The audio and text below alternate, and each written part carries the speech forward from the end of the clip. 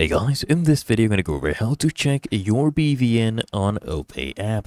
The first thing I want you to go ahead and do is open up your OPay app and then log into your account, okay?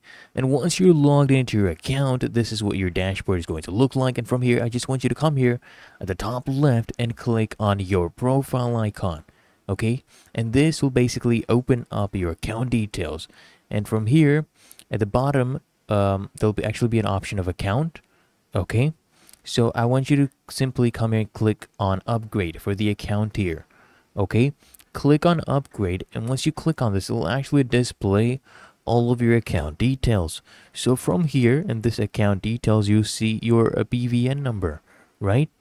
So what you can do, this is your BVN number, but as you can see, there's numbers hidden for your security. Now to view this full number, what you can do is you can just simply come here and click on copy okay click here on copy button and you can paste it on any notepad app. Just okay click here to copy it and you can paste it on any notepad app. It will see your full bvn number.